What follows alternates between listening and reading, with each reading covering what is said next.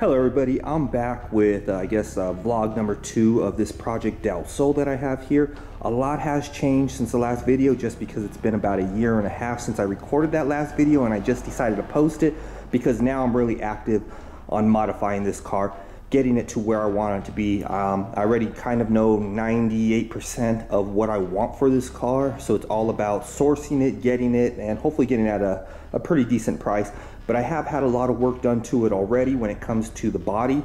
The body is completely straight, um, completely dent free, um, kind of blemish free. It got a brand new paint job. I mean, I'll go in and show you that. The roof was where you were able to tell before in the last video that was really oxidized. And you can see now this thing is, is really nice. So we'll start here in the front with these headlights. Um, got these, obviously these are some like Amazon headlights. Not a problem with that as long as I'm able to see out it. I plan to get some HIDs for this car to make them a little brighter, but I'm gonna be changing these out uh, for some that are like black. I'm going for that black and red uh, theme for this car. Same with here. These are the stock ones here, but I'm gonna be changing those out for some black ones. I believe these side markers, I'm gonna try to find some smoke ones, just because like I said, it goes with the theme of the car or I guess the look of the car. Uh, there, there on the bottom, you can see that I have the Type R lip. Now the place I took it to did a great job because as you can see, they put it where it goes over the top. If you check out my other Del Sol, my blue one that I have, you can see that they didn't do that. You can kind of see all the white dust from all the sanding, but uh, a lot of that comes out with just wiping it. So there's that. We'll move along the side to the rims are still the same. Kind of flat tires, don't really care about that. Now the sides here I had uh, repainted but flat black. They kind of look like gloss black uh, from the camera that I'm seeing through, through that. But they are gloss black because I'm going with that flat black along from the front. Here, I want to add some uh, mud flaps so that will look nice going there and there. Got a flat tire even here, but hey, it don't matter. I'm upgrading these rims inside the wheel well as you can see it's uh, kind of like a pinkish color. I do plan to uh, paint that all black change out of course the suspension moving around to the back of the car. Looks all nice except for here. I gotta go ahead and mask that off and paint it.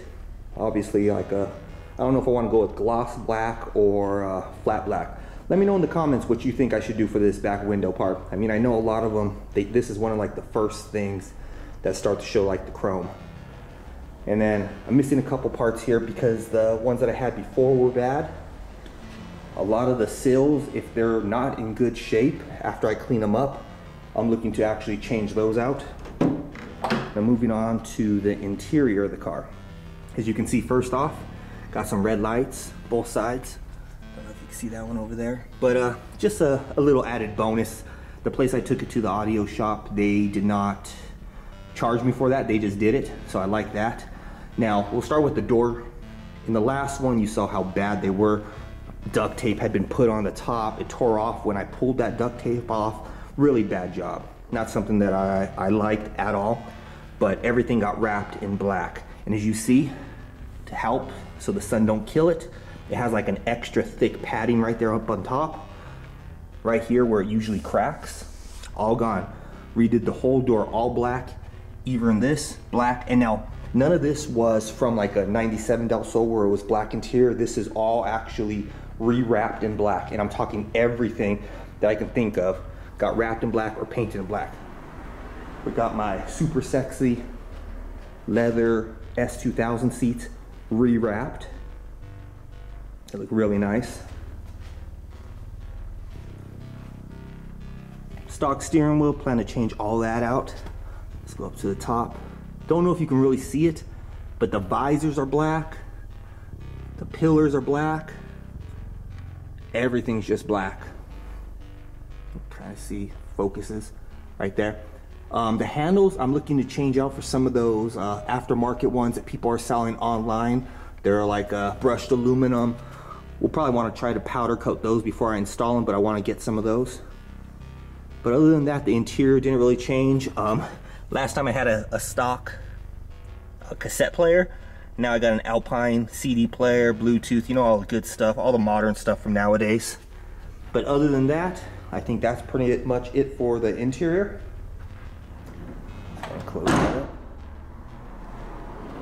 Now on the rear, you can see gloss black, that license plate panel. I don't know, for some reason I kind of like how that offsets it. I wanted to get a spoiler. I actually have a spoiler. Just kind of look over here. Got like a Mugen style one, and I say Mugen style because uh, wasn't all that great of uh, condition. It was, uh, it's kind of poorly fabricated, so therefore I kind of wanted to nix that one. Uh, if you can see from one of my old Del Sols, what does it say right there? Vegas Invasion, that's Vegas Invasion 7, best engine. So yes, I've kind of been in the Del Sol scene, even though I'm kind of getting back into it. It's been kind of a while. I'll show you the car that I had that on soon. But once again, moving along, checking it out. So I believe like the last thing for me to show you that's really been changed other than the, the nice paint job, three stage paint job is in the trunk. And in here, you can see completely rhino lined black. Really nice. That out of the way. You can see that antenna right in there. Want to swap that out, probably do like an S2000 swap on that. But all rhino lined, all painted black, all nice, just the way I wanted it. Gloss black on the outside, gloss red all around. So I guess I guess I forgot the engine. Not that there's really been much done to the engine. I mean, there hasn't really been anything. Missing the, the wiper things. Gotta get some, probably just some aftermarket black ones. Hold on. Hard to do this one-handed.